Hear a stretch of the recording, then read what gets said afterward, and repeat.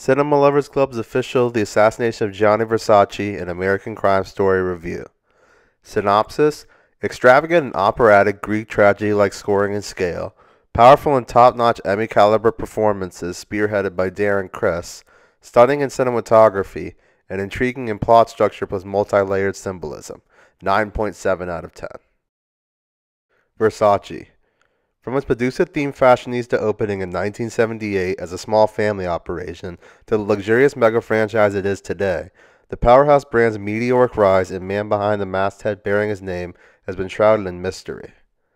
Taken out by spree killer Andrew Cunanan, an FBI's most wanted featuree with delusions of grandeur and little else known about him, it was about time some light and dramatic reenactment was shed on this icon of clothing's shocking murder. None better to head up the process than TV maven Ryan Murphy and his lustrous crime anthology, American Crime Story. What they've delivered might not just be the best TV series this year, it might be one of the greatest TV series I've ever seen. Extravagant and operatic Greek like tragedy in scoring and scale, powerful and top notch Emmy caliber performances spearheaded by Darren Criss, stunning in cinematography, and intriguing in plot structure and multi layered symbolism, the, the assassination of Gianni Versace is a tier above most other offerings on streaming this decade. Stylistic flair that would make Versace himself proud.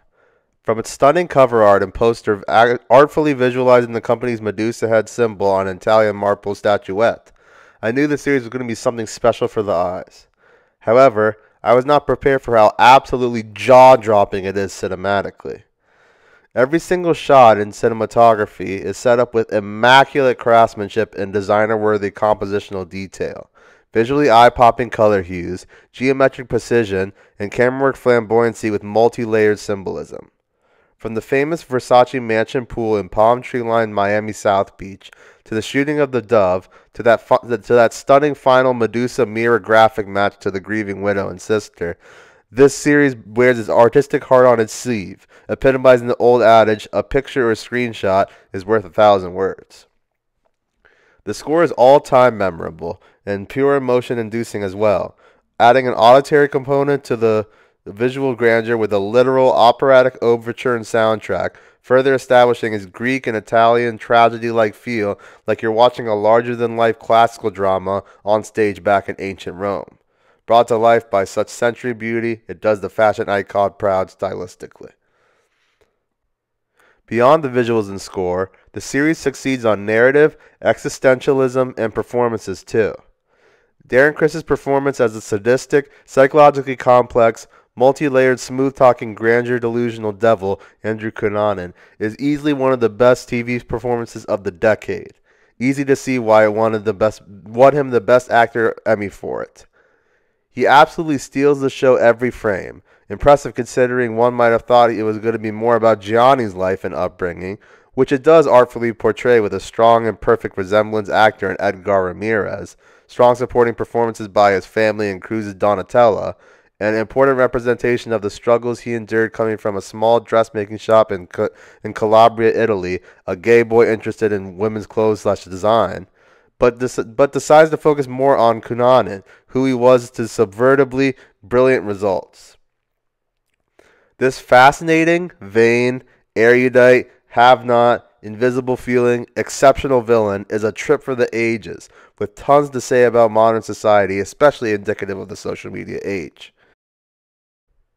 The plot structure and themes serve this purpose, starting with the jaw-droppingly rendered Versace murder without any context or explanation beyond pure old-school operatic emotion-inducing, before piece by piece and slow-burningly going layer by layer into the story of why it happened and who everyone involved was. From David to the Miglins to Donatella to Andrew's downright evil father Modesto, arguably even a more screen stealing, intriguing presence than Andrew, possibly shouldering some of the blame for, for Andrew with a side arc of how much bad fathers can pass on to their vulnerable sons. In this case, inflated ego, expensive taste, and God, God complex, etc., before tying up its many threads and storylines perfectly with a bow in the end. This series also gives light and explanation to timely, vitally important topics like the drug of fame, feeling invisible, television of violent acts, materialism, instant gratification of modern society, image obsessions, grandeur delusions, mental health, morality, capitalism, juxtaposition of have and have nots, and homosexuality. How it can silence, demonize, force lies, isolate, and played a huge role in the remarkable length, brutality, and multi perspective tragedy of this case is one of the most important representations of the topic ever filmed. The only minor flaws to be found in this otherwise brilliant canvas are the occasionally disorientating and convoluted nature of the plot structure. It can get admittedly daunting and rewind forcing trying to piece together.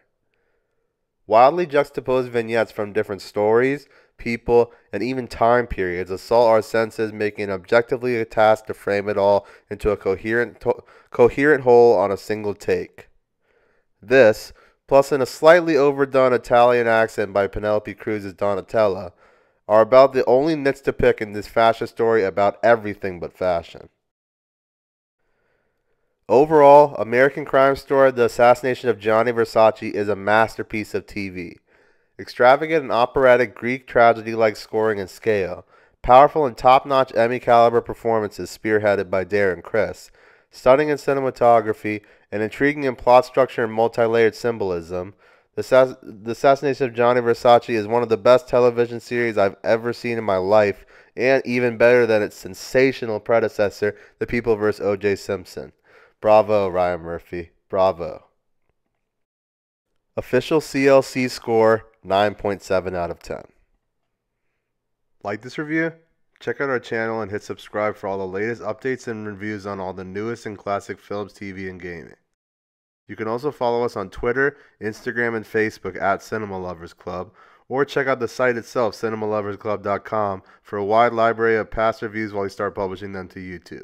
Links in the description. Thanks for watching, and welcome to the club.